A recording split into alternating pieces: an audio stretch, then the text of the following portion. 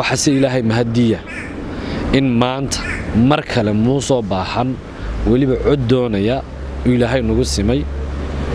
Waa fursad weyn oo ilaahay aan ugu mahadnaqayno oonu rajaynayno muuse inaanu iyo xukuumaddiisa iyo kulmiyaba inaanu kaga argudan doonno codkayaga iyo farta deegaanka. Waxaana wanaagsan daawadayaal waxaa hadda ila jooga xogayaha biyaha ee markaasi xisbiga wadani soo dhowo marka koobaad xogaya bismillahi raxmaan raxiim bahda codka bariga afrika. Aad iyo aad baan idin salaamayaa adigii bulshooyinkiidinkii bulshooyinta reer somalilanba waanan ku dhowah waayay xogaye safar baad u baxdeen oo waxaad tagteen ilaa allay baday ilaa markaasi hawdkaasi bal waxaad ka warantaa safarkaasi iyo weliba wuxuu daaranaa. Bismillahi raxmaani raxiim safar aan dhowaan ku tagnay baa jiray deegaamada allay baday oo daaranaa la tashiga dadka deegaankaasoo ah deegaan ballaadhan aniguna aan shakhsiyan ka soo jeedo safarkaas wuxuu isugu jiray inaannu bulshadeeda la soo tashanno iyo inaannu xafiis xisbiga anigu aan ka tirsanahay ee waddani uga soo furno si bulshada meesha oo boqolkiiba sagaal iyo sagaashan mucaarad u ah ay u helaan goob ay afkaartooda siyaasigaa ku wadaagaan iskuna abaabulaan bulshadeeda oo runtii markii hore ilaa labada kun iyo toddobiyo tobankii uu ka mid ahaa ama deegaankaygu uu ahaa haddaanu ahaynba deegaanka ugu ballaadhan ee xisbiga mucaaradka taageera deegaanada gebiley ka wada tirsan. Maanta alxamdulilah waxaan ilaahay ugu mahadnaqayaa.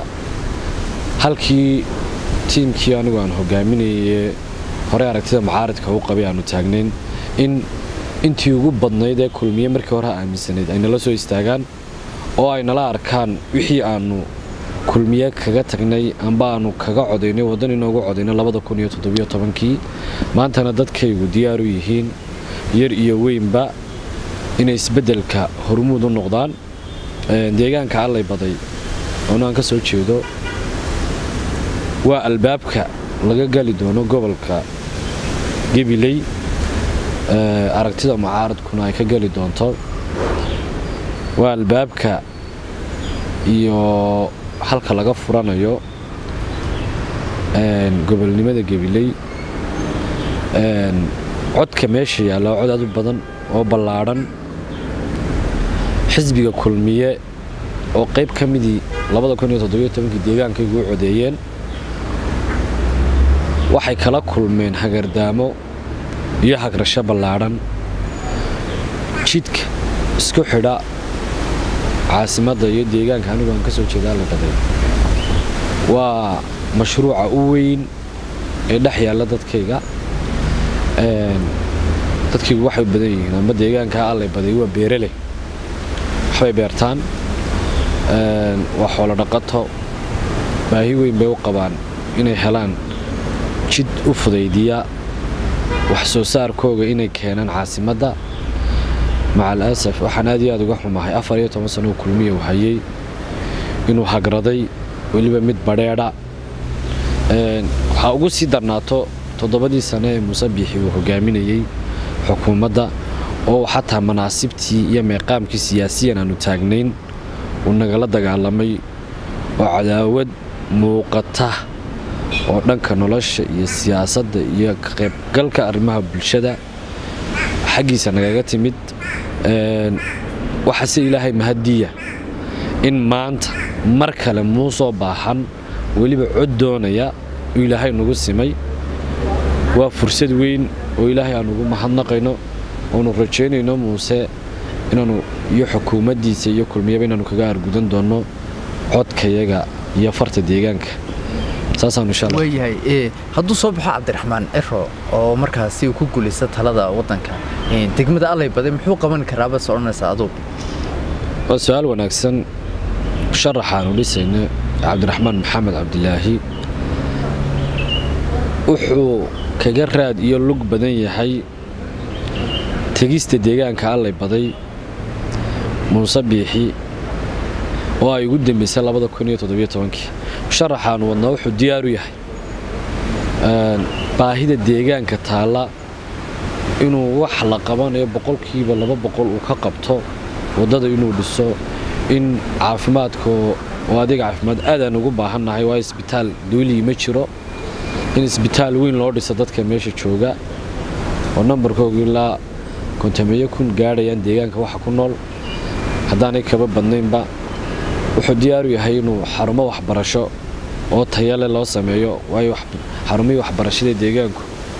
Ma aha kuwa tayale dad aad u tiro yarbaa ka soo baxa laakiin wuxuu diyaaru yahay sida deegaamada kale somalilanba in la helo xarun waxbarasho oo mustaqbalka carruurta iyo dhallinyarada ka anfici doonta haddii ilaha idhaahdo inuu sameeyo iyo adeegyada aas-aasiga bulshadaba inuu wax ka qabto.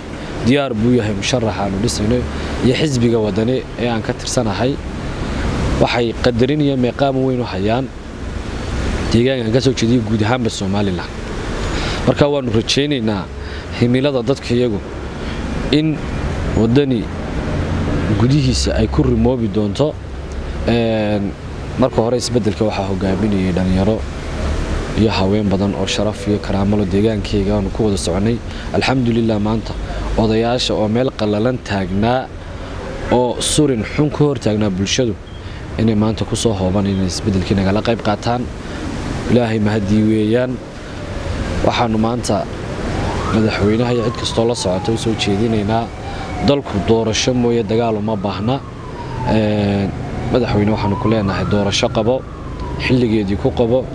Waxaad kasbatunbaad helaysaa way waa xilli maa xog haye. Xilligaad markaasi israaci doontaan musharaxa madaxweyneha xisbiga wadani islamarkaasina degmadii allay badee lagu soo dhoweyni doono xilli may dhici doontaa taasi waa isleedahay dadkii dadka deegaanka iyagu ama allay baday in muddoaba waxay dariiqyada la taagayiin caleemo qoyan. Waxay heegan ugu jiraan oy u heelan yihiin inay soo dhoweeyaan musharaxa ama madaxweynaha maalmaha dhow cabdiraxmaan maxamed cabdilaahi xiro iyo guddoomiyaha xisbiga xirsi cali xaaji xasan waxaan rajaynaynaa wakhti aan fogeyn oo aanan iminka kuu cayimi karin inay deegaanka tagaan sidii ugu qiimaha badnayd ugu gobonnimada badnayd ugu ballaadhnayd ee deegaan lagu soo dhoweeyo musharaxa iyo guddoomiyahaba inaan ugu soo dhoweyn doono habeen iyo maalin bay dadkuna soo weydiinayaan xilli ma imanayaan xilli maad imanaysaan.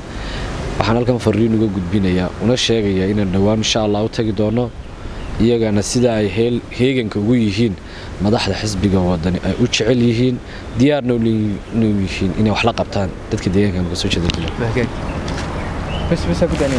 maasha allah soo dhowaada. La jaanqaad shirkadda telesom. Maxmil waxay kuu diyaarisay. Adeegga internetka ay faibar optiga kaasoo xawaarihiisu kala go' lahayn.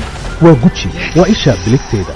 Intuu soo gudlanayo hadalba gam hagarle ii ku isticmaal sochial midiyaha kuna daawo wararka cayaaraha iyo onlaine geemiska haddaba maxmil soo gasho gurigaaga xafiiskaaga iyo goobtaada shaqo. Fadlan nagala soo xidhiidh nambarka gaaban